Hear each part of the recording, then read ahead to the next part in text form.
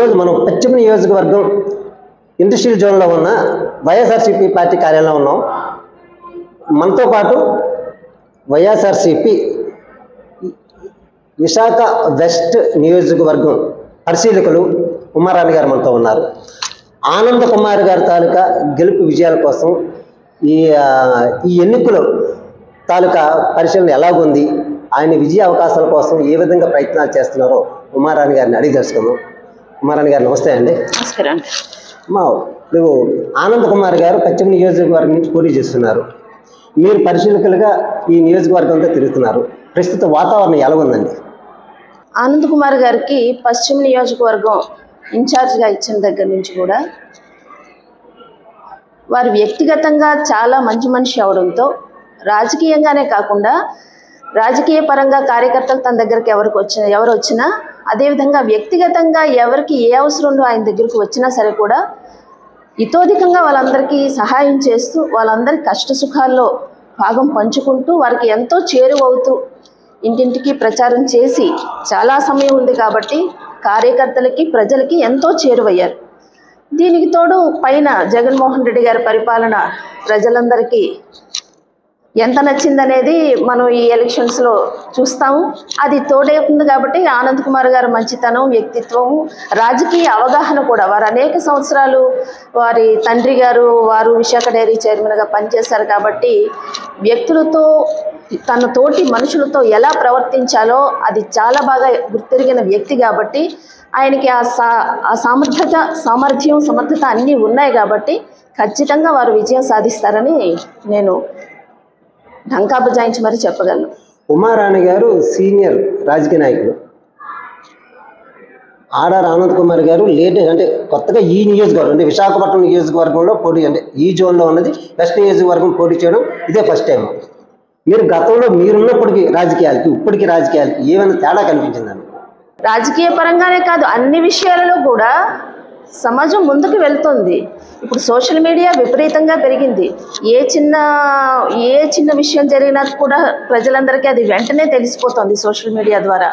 కాబట్టి ప్రతి ఒక్కరూ కూడా ఎంతో జాగరూకతతో తమ తమ కదలికల్ని కానివ్వండి తమ ప్రవర్తనని కానివ్వండి చాలా జాగ్రత్తతో వ్యవహరించాల్సినటువంటి అవసరం ఇప్పుడు ఉంది. రాజకీయంగా ప్రజలు అప్పుడు చైతన్యంగా ఉన్నారు ఇప్పుడు అంతకంటే చైతన్యంగా ఉన్నారు. మీరు మాకు ఎందుకు చేయరు అని అడిగే వాళ్ళు ఉన్నారు అప్పుడు ఉన్నారు ఇప్పుడు ఉన్నారు. కాకపోతే దాని ఉధృతి ఇంకా అప్పటికి ఇప్పటికి బాగా పెరిగింది. ఈ సోషల్ మీడియా వల్ల ఛానల్స్ వల్ల ప్రజలకి ఇంకా దగ్గరగా రాజకీయ నాయకులు చేరువయ్యే పరిస్థితి ఈ రోజు ఉంది. పదవిలోకి రాకముందే ప్రజా సంక- సంక్షేమ కార్యక్రమాలు చాలా చేస్తున్నారు ఆనంద్ కుమార్ గారు. రేపు పదవిలో వచ్చిన తర్వాత ఇంకా మరిన్ని చేయడానికి మీరు ఆయనకి ఇచ్చే సలహాలు సూచనలు ఏంటండి? వారికి సలహాలు ఇచ్చేంత స్థాయి అని నేను అనుకోను. నేను రెండుసార్లు కార్పొరేటర్గా పనిచేశాను. అంటే రాజకీయాల్లో నేను ఉన్నానేమో కానీ వారు కూడా ప్రజాక్షేత్రంలోకి డైరెక్ట్గా కాకపోయినా ఇండైరెక్ట్గా కూడా ప్రజాక్షేత్రంలో వారు ఉన్నారు. ఎప్పటి నుంచో వారి సేవలను వారు అందిస్తూ ఉన్నారు.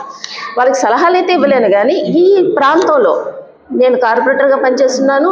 అదేవిధంగా గోపాలపట్నం ఎన్ఏడి ప్రాంతంలో కూడా కార్పొరేటర్గా పనిచేస్తున్నాను కాబట్టి ఎక్కడైనా ఏదైనా కొన్ని పాకెట్స్లో ప్రజలకి అవసరం వారికి ఉన్న అవసరాలు కానీ కొన్ని వారి దృష్టికి రాని సమస్యలను కానీ విషయాలు కానీ వారి దృష్టికి తీసుకెళ్ళే ప్రయత్నాన్ని అదేవిధంగా నాకు నాకు ఉన్న కార్యకర్తలతో నాకు ఉన్నటువంటి అనుబంధ పరంగా ఏవైనా అవసరాలు ఉంటే అవి వారికి చెప్పడం నేను చేయగలను తప్పితే వారికి సలహాలు ఇచ్చే స్థాయి అని నేను అనుకోను పారిశ్రామిక ప్రాంతంలో ప్రధాన సమస్యలు ఏమున్నాయని మీరు అనుకున్నారు?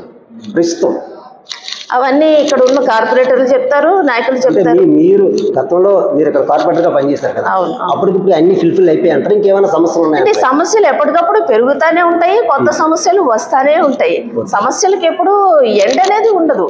ప్రజల అవసరాలు పెరుగుతూ ఉంటాయి వాళ్ళ నీడ్స్ పెరుగుతూ ఉంటాయి అదేవిధంగా సమస్యలు కూడా పెరుగుతూనే ఉంటాయి. ఇది ఇండస్ట్రియల్ ఏరియా కాబట్టి ప్రత్యేకించి ఇక్కడ హెచ్పిసిఎల్ ఐఓసి ఇటువంటి అలాగే నేవల్ డాక్యార్డు ఇటువంటి చాలా పరిశ్రమలు ఉన్నాయి కాబట్టి పరి పారిశ్రామికంగా ఇది బాగా డెవలప్ అయిన ప్రాంతం కాబట్టి ప్రజల సమస్యలు మామూలు క్షేత్ర మామూలు అంటే అదర్ వార్డ్స్లో ఇప్పుడు ఎన్ఏడి గోపాలపట్నం ఉన్న అక్కడ ఉన్నటువంటి ప్రజల కంటే కూడా ఇక్కడ ఉన్నటువంటి ప్రజలకి పొల్యూషన్ పరంగా కానివ్వండి ఇంకేవైనా చాలా సమస్యలు ఉంటాయి.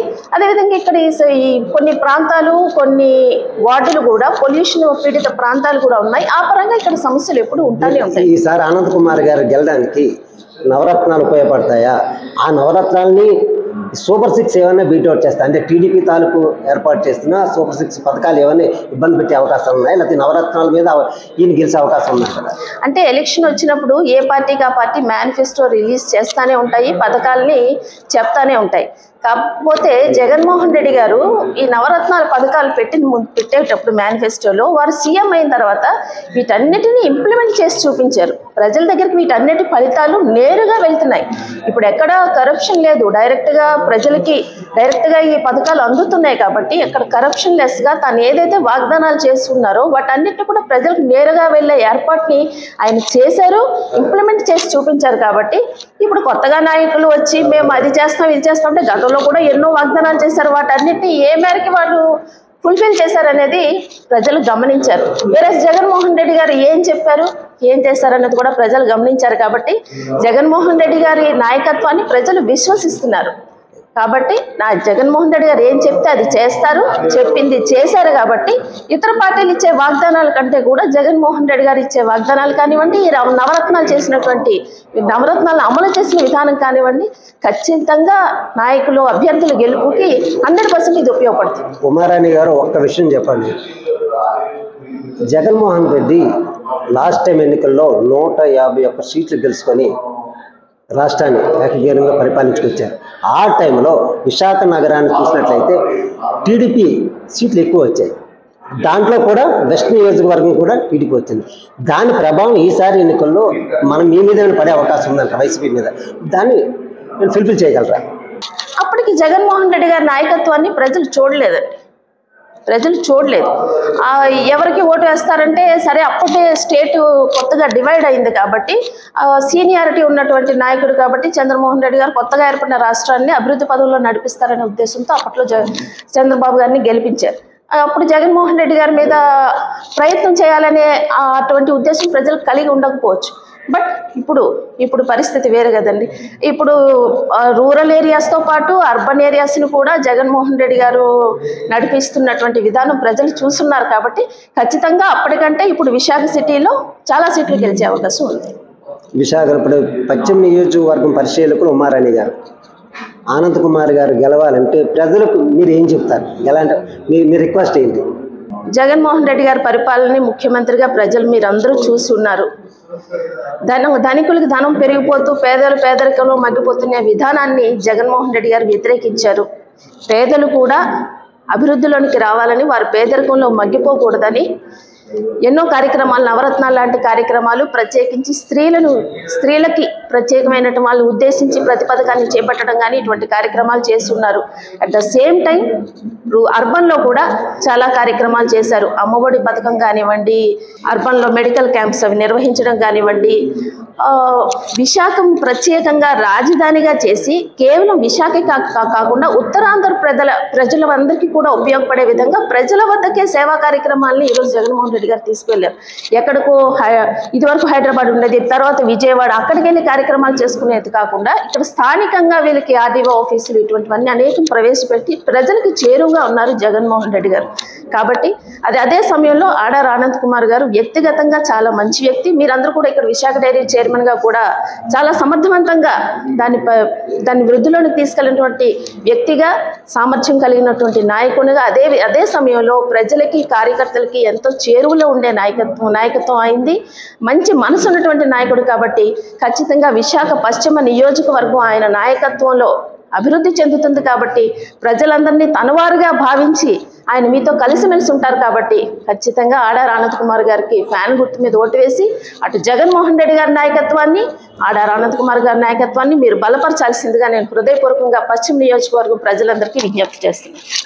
రెండు వేల ఇరవై నాలుగు రాబోయే ఎన్నికలలో విశాఖ పశ్చిమ నియోజకవర్గం నుంచి పోటీ చేస్తున్న ఆడార్ ఆనంద్ కుమార్ గారిని అత్యధిక మెజార్టీతో గెలిపించాలని ప్రజా సంక్షేమం కోసం ప్రజలకు అందుబాటులో ఉండి ఎటువంటి కార్యక్రమాలు చేయాలన్నా ఆనంద్ కుమార్ గారు మీరు చేస్తారు.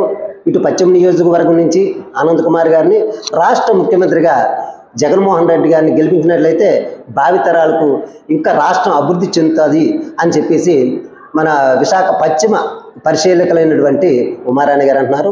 వచ్చే ఎన్నికల్లో ఆనంద్ కుమార్ గారు విజయం సాధించాలని మనం కోరుకున్నాం ఉమారాణి గారు నమస్తే నమస్తే అండి థ్యాంక్ యూ జై జై జై